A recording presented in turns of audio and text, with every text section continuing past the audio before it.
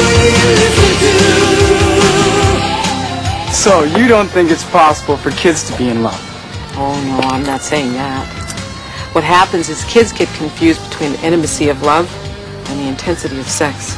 And I was with my boyfriend for six years, and you'd think that was love, but here I am by myself now.